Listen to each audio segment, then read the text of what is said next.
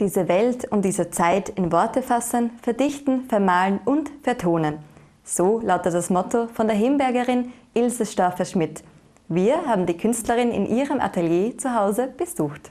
Ilse Storfer schreibt Gedichte und Kurzprosa, malt und komponiert in der ihr eigenen direkten und doch philosophischen Art. Und in diesem Atelier ist einfach alles vereinigt. Also es ist die Musik da und es sind meine Bilder da.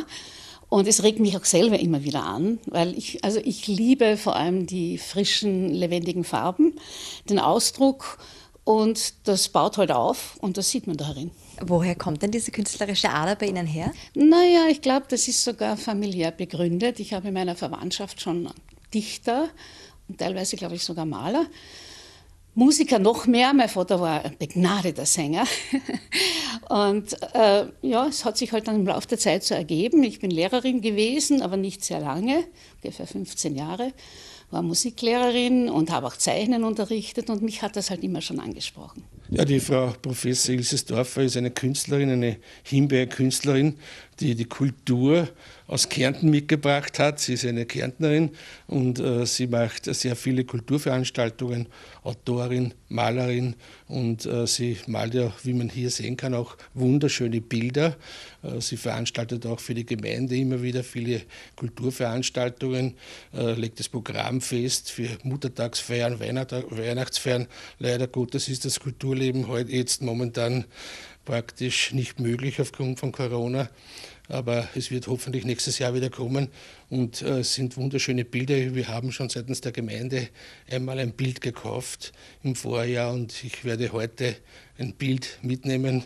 Äh, erstens hat mich das Bild sehr angesprochen und zweitens wollen wir auch die einheimische Künstlerin auch seitens der Gemeinde unterstützen. Und was empfinden Sie persönlich denn, wenn Sie jetzt auf diese Kunstwerke blicken? Ich bin ein Techniker, der nicht so kunstbegabt ist, aber ich frage immer wieder nach, was denkt sich eine Künstlerin bei dem Bild, was ist der Hintergrund, was ist die Aussagekraft und da kommt man drauf, dass es unter Umständen unterschiedlich ist oder doch auch äh, verbindet. Wie entsteht denn ein solches Bild und was für Techniken verwenden Sie? Ich bin äh, Acrylmalerin in erster Linie. Also früher einmal habe ich in Dispersion gemahlen, weil die auch sehr farbkräftig sind. Ich habe bunte Gedichte gemacht mit Texten drinnen. Wie dann diese Mode mit diesen großen Leinwänden aufgekommen ist und die Acrylfarben, das war ein leichter Umstieg für mich. Also ich male in erster Linie in Acryl, äh, lasse mich inspirieren von allem Möglichen, auch von Anregungen. Manchmal mache ich sogar ein Auftragswerk. Manche wollen nur Landschaft haben oder manche halt wirklich nur abstrakt und manches kommt einfach von innen heraus.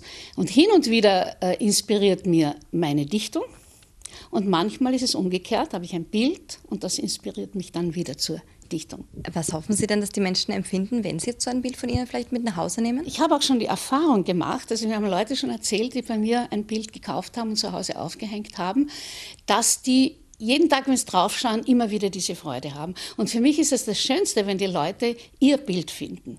Und das ist ja ganz unterschiedlich, jeder, was er halt für Wünsche hat. Ne? Und, aber das, er soll raufschauen und eine Freude empfinden und sich ein bisschen aus dem Alltäglichen herausheben lassen. Wie empfindet denn eine Künstlerin wie Sie es diesen erneuten Lockdown und was macht man während dieser Zeit? Naja, es ist schwierig, absolut schwierig, weil äh, vor allem bin ich auch Chorleiterin, komme nicht unter die Leute, ich muss halt zu Hause sein. Und man glaubt immer, oder ich habe geglaubt, ich könnte das jetzt nützen zum vermehrten Schreiben, zum vermehrten Malen. Es ist nicht leicht. Man kriegt die negativen Schwingungen natürlich mit, auch wenn wir abgelegen wohnen. Äh, man hat ja trotzdem die Nachrichten ständig da und alle Telefonate und so weiter. Und dadurch ist es einfach schwierig. Man muss sich halt als Künstler, und so verstehe ich mich halt einfach, aufraffen und zu diesem ganzen Negativen, was man jeden Tag da irgendwo mitkriegt, irgendwas Positives dazugeben. Und das motiviert mich dann wieder. Und dann, wenn ich mal anfange, wenn ich zum Malen anfange, werde ich positiv und dann kommt schon wieder was. Auf was freuen Sie sich persönlich jetzt am meisten, wenn dieser Lockdown dann hoffentlich irgendwann beendet sein wird? Naja, dass ich halt wirklich wieder unter Leute gehen kann, dass ich wieder auf die Bühne kann, weil ich stehe ganz gern auf der Bühne, dass wir auch eine Vernissage machen können, wo Leute dabei sind, die, wo dann ein reger Austausch ist. Und natürlich auch, dass hier in der Kulturwerkstatt unsere, im nächsten Jahr unsere Veranstaltungen wieder ganz normal machen können.